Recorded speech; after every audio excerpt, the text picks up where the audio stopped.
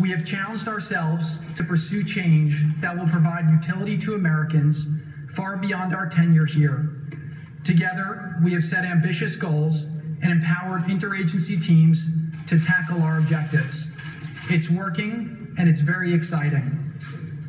We began by analyzing and auditing our current infrastructure.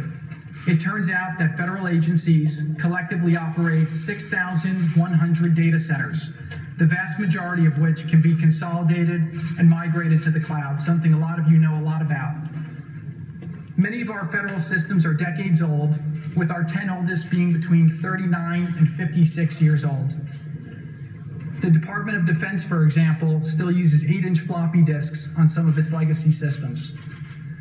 The 1980 Paperwork Reduction Act, designed to make government more efficient, but also established before the government used computers, still has domain over every form published online. This requires a six month review and a rigorous interagency process to approve any changes that can be made on a government website, regardless of how minor they are.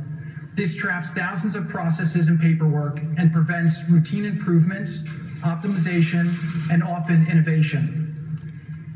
The VA has 532 forms on vets.gov, the majority of which are not accessible by modern browsers. Most services still use paper forms, including 90% of healthcare applications and 86% of claims. Our veterans deserve better, and that's what we are going to deliver.